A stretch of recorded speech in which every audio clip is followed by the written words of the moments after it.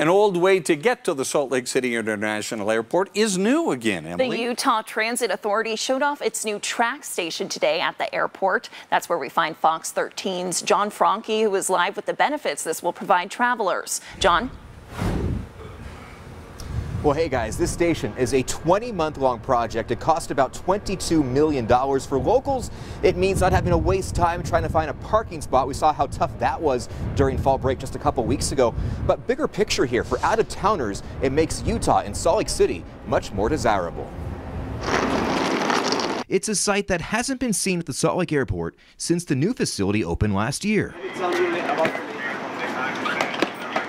arriving travelers boarding a TRAX train to get to their final destination in the Salt Lake Valley. Who here doesn't think that this is not now the greatest airport in all of the United States of America?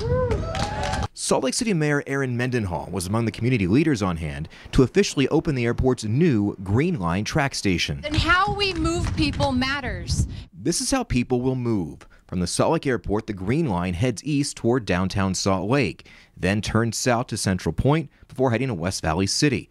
Along the way, various transfer points for other TRAX lines and the FrontRunner. This is a, a, big city 21st century airport, and big city 21st century airports need a rail connection to the center of the city, and we now have that. That connection is a big deal when it comes to attracting conventions and tourists to Utah.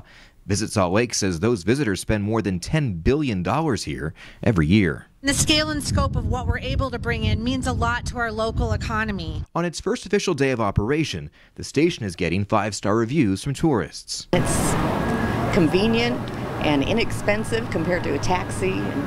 It's great. Those who made this station happen hope that trend continues and the new Salt Lake Airport makes a name for itself on the world stage. It'll be an easy walk into the terminal building, and yeah, I think it's going to make life a lot easier for a lot of people.